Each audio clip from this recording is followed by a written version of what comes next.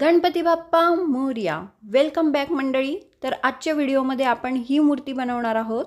पण जर तुम्ही माझे पूर्वीचे गणपतीचे व्हिडिओ बघितले नसतील तर नक्की बघा. कारण कारण त्यामध्ये मी फार बेसिक गोष्टींबद्दल अगदी सुरुवातीपासून सगळं सांगितलेलं आहे. आणि त्या बेसिक गोष्टींचा उपयोग तुम्हाला आजच्या व्हिडिओमध्ये समजून घेण्यासाठी होईल. म्हणून माझे मूर्तीचे बेसिक बिगिनर्सचे ट्युटोरियल नक्की बघा. आणि आजची मूर्ती बघा मंडळी छान गोल गरगरीत गुटगुटीत हसरी अशी बाप्पांची मूर्ती आहे. ह्या मूर्तीची प्रोसिजर मी दोन पार्ट्समध्ये सांगितली आहे. सो दुसरा पार्टही तुम्ही नक्की बघा. सो व्हिडिओ पूर्ण बघा मंडळी स्किप करू नका. आणि माझं काम जर तुम्हाला आवडत असेल तर माझ्या चॅनलला प्लीज प्लीज सबस्क्राईब करा. आणि व्हिडिओ आवडला तर व्हिडिओला लाईक करा. तर सुरू करूया. तर असा बेस मी आधी मंडळी बनवून घेतलेला आहे. बेस कसा बनवायचा हे तुम्हाला बघायचं असेल तर माझा मागचा गणपतीचा व्हिडिओ तुम्ही बघा. त्याच्यात असाच डबल बेस मी बनवणे बनवलेला आहे. व्हिडिओ लेंदी होतो म्हणून बेस कसा बनवायचा हा पार्ट मी स्किप केला आहे तर मंडळी सगळ्यात आधी बाप्पा बसलेले असतात तो पार्ट करण्यासाठी मी असे मातीचे दोन गोळे घेतले. ते छान गोल करून एकमेकांना चिकटवून तिथे बेसवर मागच्या बाजूला अगदी मागच्या बाजूला असे ठेवून घेतले. आता बाप्पांचे पाय आणि पायाची पोझिशन तर आपला पाय असा येणार आहे मंडळी त्याच्यासाठी मी थोडा मोठा मातीचे दोन गोळे घेतले आणि ते हातांनी रोल करून जवळपास दंडगोलाकार असा आकार करायचा आहे. आणि तो अशा पोझिशनमध्ये येणार आहे. तर आपण ठेवून बघायचं आहे आणि पाय कुठून फोल्ड होईल हे अंदाज घेऊन पाय फोल्ड करायचा आहे. कुठल्याही पार्टला आकार देताना मंडळी माती थोडी चेपली जाते आकार बिघडतो तर थोडं रोल करून स्मूथ करून आपल्या अंगठ्याने असं आपण मूर्ती बनवतानाच ते आपल्या लक्षात येतं. थोडी माती काढून मागच्या पार्टची मी असा पाय तिथे लावून घेतला आहे फक्त प्रेस करून घेतला आहे आता दुसऱ्या पायाची पोझिशन बघा मंडळी अशी येणार आहे. तो पाय वरतीच फोल्ड करून ठेवला आहे सो थोडीशी जागा सोडून आपण हा पाय फोल्ड करणार आहोत. हा पाय पूर्ण फोल्ड करायचा आहे. अशा प्रकारे नाईंटी डिग्रीमध्ये नाही पूर्ण. आणि तोसुद्धा आपण थोडी मागची माती काढून घेतली चमच्याने आणि चिकटवून घेतो आहे म्हणजे प्रेस करून घेतो आहे अशा प्रकारे. तर ही आपल्या बापांच्या पायांची पोझिशन आहे. नंतर एक चकती फक्त मी गोल करून जो खालचा पाय आहे त्याच्याखाली ठेवून घेतली आहे. आत्ता मूर्तीचे पावलं करण्यासाठी मी असा मातीचा छोटा गोळा घेऊन त्याला थोडा अंडाकृती असा आकार देते. आहे पुढची माती थोडी काढली आहे कारण तिथे बोटं असणार आहेत. म्हणून मागे जाड आणि पुढे बारीक. आणि ते पाऊल आपण लावून घेतो आहे खाली. फक्त प्रेस करून घेते मी. आता सध्या मी ढोबळ साचा फक्त एक आकार देऊन घेते मूर्तीला. आणि नंतर आपण त्याला सुबक आकार देणार आहोत. तर अशी पायांची पोझिशन आणि पावलांची पोझिशन आपण सेट केली. तर मंडळी सुरुवातीला जे मी सांगितलं की आपण मूर्तीला छान गोलाकार गुटगुटीत करणार आहोत सुबक करणार आहोत तो पार्ट इथे येतो की तुम्ही मातीचे छोटे छोटे गोळे मूर्तीला असे लावून त्याला गोलाकार आकार देता. आधी आपण पायांचा फक्त एक बेसिक ढाचा बनवला आणि आता आपण मातीचे छोटे छोटे गोळे लावून त्याला जास्त लयदार आणि सुबक करणार आहोत. तर हा पार्ट खूप इम्पॉर्टंट आहे. अंदाजानेच हे काम आपण करतो. पण सांगायचंच झालं तर सगळे आकार गोलाकार वाटायला हवे. भरीव आणि गोलाकार वाटायला हवे. तर पायांच्या सगळ्या बाजूंनी आपण असे मातीचे छोटे छोटे गोळे लावून बोटाने आणि अंगठ्याने घासून त्यांना गोलाकार करत आहोत. बघा गोलाकार असे आपले सगळे आकार वाटायला हवे. पायाचे. आता ह्या स्टेजला आपण काय चेक करायचं आहे मंडळी? की आपले दोघं पाय सारखे वाटतायत का? गोलाकार वाटतायत का? भरीव वाटतायत का? आणि त्यांची पोझिशन बरोबर आहे का? तर आपले पाय आता मला ठीक वाटत आहेत दोघं. आता मूर्तीच्या वरच्या भागाकडे आपण वळूया मंडळी. तर बाप्पांचं उदर करण्यासाठी मी असा मातीचा मोठा गोळा घेतला. बघा मध्यभागी तो असा आला पाहिजे. त्याला खालून थोडं आपण चेपून घेणार आहोत. मागची थोडी माती काढून घेणार आहोत. जास्त उंच हा नाही घ्यायचा आहे भाग. ते थोडं पुढे आलेलं वाटण्यासाठी मी एक गोलाकार चकती त्यावर लावून मर्ज करून घेतली तिला. जास्त उंच हा गोल करायचा नाही आहे मंडळी. इनफॅक्ट कोणतेच आकार आपण फार लांब आणि उंच करणार नाही आहोत कारण त्यामुळे गणपती गोल गुटगुटीत वाटेल बुटक्या आणि गोलाकार आकारांमुळे. तर असा मी छातीसाठी एक दंडगोलाकार मातीचा गोळा ठेवून त्यालासुद्धा मर्ज करून घेतलं आहे हाईटकडेही लक्ष द्यायचं आहे आपण त्याला थोडं प्रेस करून घेतलं. नंतर दोन छोटे मातीचे गोळे लावून घेते आहे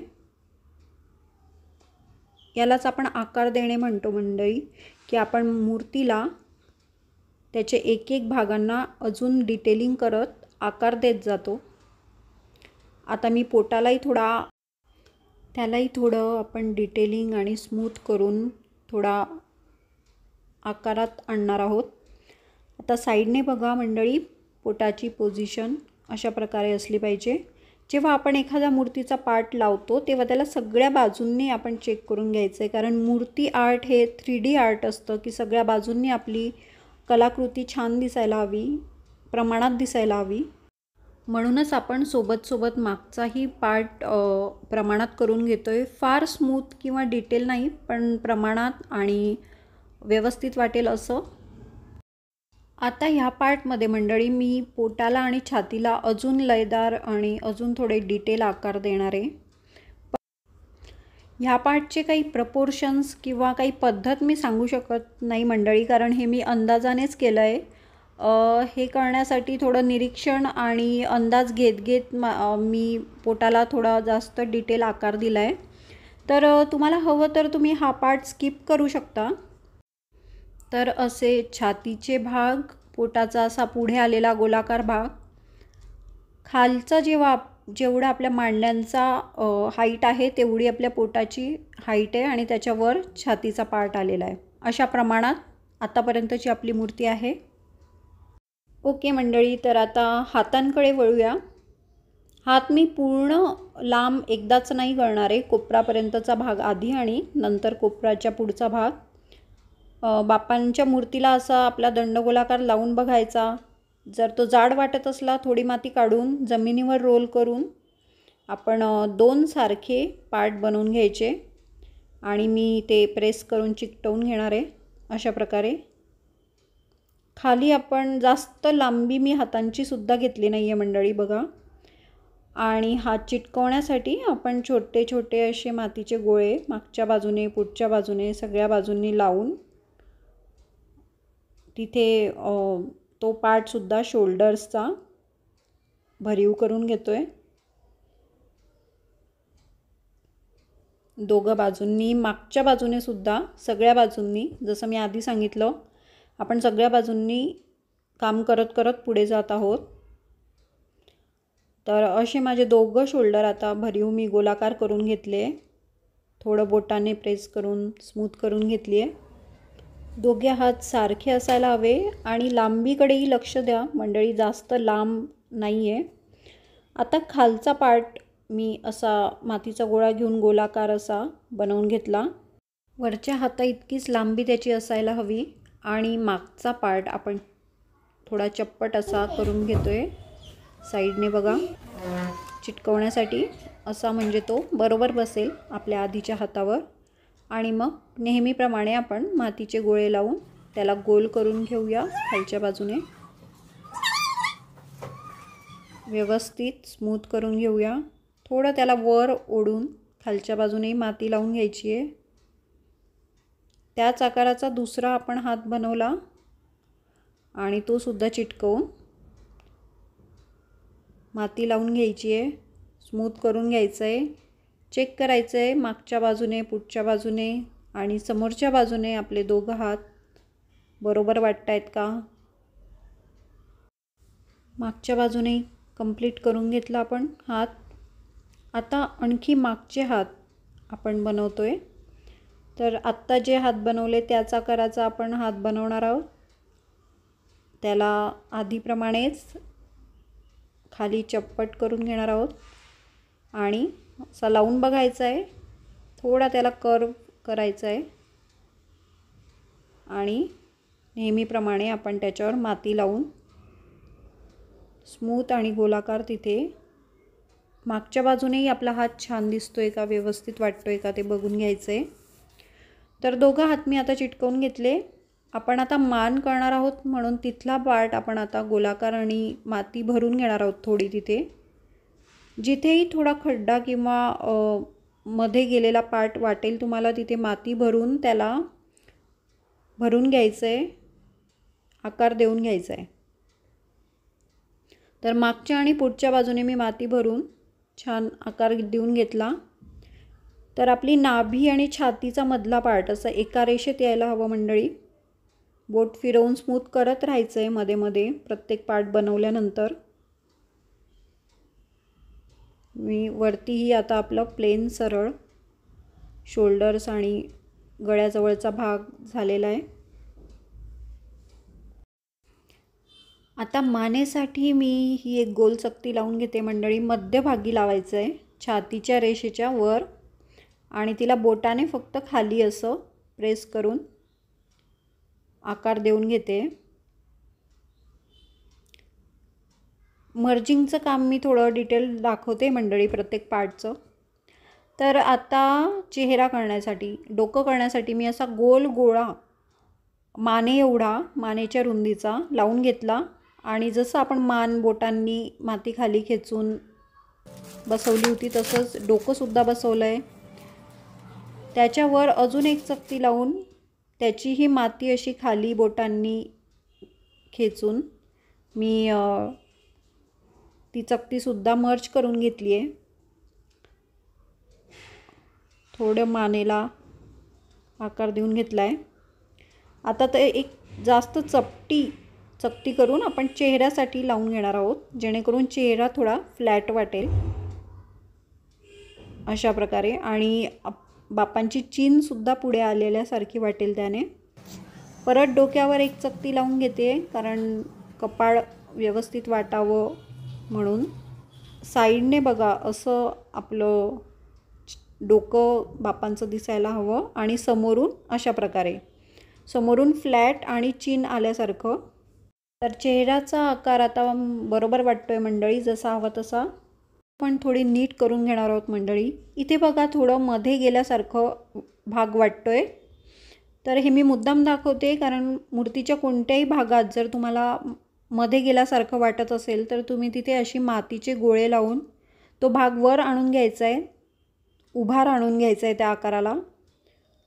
पाठीच्या कण्याची लाईन मी अशी थोडी बोटाने काढून घेतली. त्याच्याने आपल्या लक्षात येईल की दोघं बाजूंना मूर्ती बरोबर होते का प्रमाणात वाटते का? मंडळी आता मूर्तीचे कान.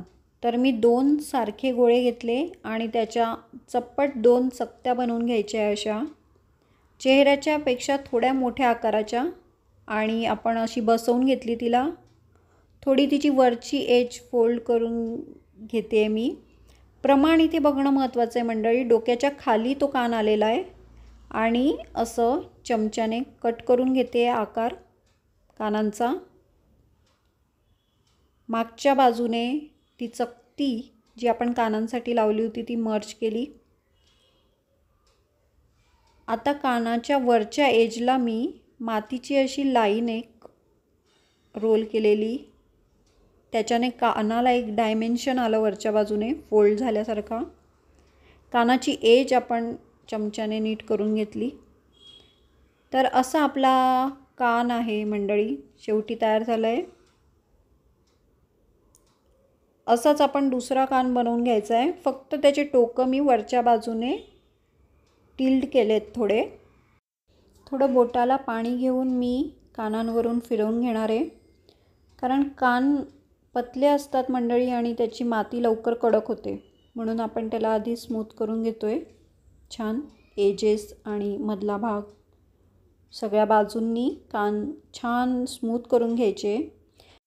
बाकीच्या पार्ट्सपेक्षा कान आणि चेहरा हे अतिशय स्मूथ आणि प्रमाणात असण्याकडे लक्ष द्यायचं आहे मंडळी. दोघं कान आपले सारखे वाटायला हवे. म्हणून करतानाच आपण दोन चकत्या सोबतच बनवायच्या कानांच्या. ओके तर आपले कान छान झालेत आता. आता मंडळी आपण पितांबराचा आकार मूर्तीला देऊन घेणार आहोत त्याच्या घड्या. म्हणून मी पायावरची एक्स्ट्राची माती अशी काढून घेते एखाद्या टूलने किंवा चमच्याच्या मागच्या भागाने लहान चमच्याच्या. इथे आपला पाय थोडा पितांबराच्या मधला पाय दिसणार आहे म्हणून मी तिथे गोलाकार बोट फिरवून माती काढून घेतली आहे. हे थोडं अंदाजाने काम करायचं आहे मंडळी कारण आपण आधी एक कच्चा ढोबळ साचा बनवला होता. आता आपण त्याला डिटेलिंग करत आहोत. म्हणून मी हे थोडं डिटेल थोडं जास्त वेळ दाखवते की तुम्हाला अंदाज येईल हे कसं करायचं आहे पावलांसाठी पण मी थोडा सपाट आकार असा देऊन घेतला अंगठ्याने प्रेस करून टूल्स वापरून. मध्ये असा थोडा मातीचा ट्रँग्युलर गोळा लावून घ्यायचा आहे कारण ते जास्त मध्ये गेल्यासारखं वाटत होतं. बघता बघता आपल्या मूर्तीने आकार घेतला आहे मंडळी आता. पितांबराच्या घड्या करण्यासाठी आपण अशा मातीच्या लाईन्स बनवून घेणार आहोत. त्याचे टोकाकडचा भाग हा निमुडता असला पाहिजे. आणि एक मी लाईन लावली दुसरी लावली. आता ही तिसरी लाईन मधल्या बाजूने आपण वरच्या बाजूला अशा ह्या लाईन्स लावतो आहे आणि त्या लावल्यानंतर प्रेस करून घ्यायच्या बोटाने. त्याच्यावरून थोडं पाणी फिरवून घेते मी प्रेस केल्यानंतर. थोडं तुम्हाला वाटत असेल तर त्याचा शार्पनेस वाढवण्यासाठी आपण चमच्याने एजेस करून घ्यायच्या. खालच्या भागासाठी मी अशी लांब मोठी लाईन घेतली आहे. आणि ती अशा प्रकारे लावते बघा मंडळी. पुढच्या बाजूने सुरू करून मागच्या बाजूने पर्यंत जाईल अशी. तिला प्रेस करून घेतलं. तिच्या खाली अशी टोकं जुळलेली दुसरी लाईन. आणि त्याच्याखाली अजून एक. तुम्ही तुमच्या आवडीप्रमाणे एखादं पिक्चर रेफरन्सला घेऊन पितांबराच्या घड्या दाखवू शकता मंडळी. पद्धत हीच ठेवायची. खालच्या बाजूला जास्त मधला भाग दिसत होता म्हणून मी माती भरून घेते. ती घडी प्रॉपर पितांबराची वाटण्यासाठी. तर एका साईडच्या आपल्या अशा घड्या तयार झाल्या एका पायावरच्या.